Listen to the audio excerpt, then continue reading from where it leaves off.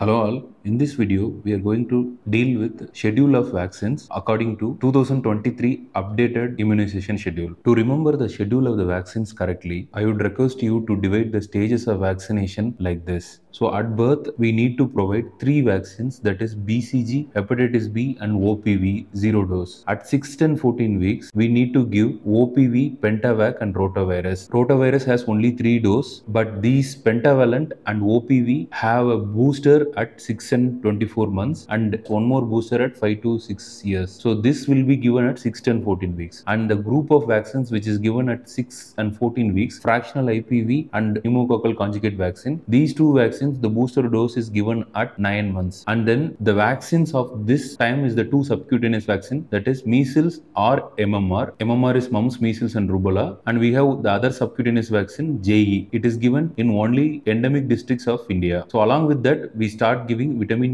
A also orally. Then the next stage is the 16 to 24 months. There we need to give OPV booster and DPT booster. Then as per the schedule, MR and JE second dose will be given here. Then every six months after one year, we need to give vitamin A till five years of age. Five to six years of age, we need to give the DPT second booster. And at 10 and 16 years of age, we need to give TD vaccine. So that's how you should remember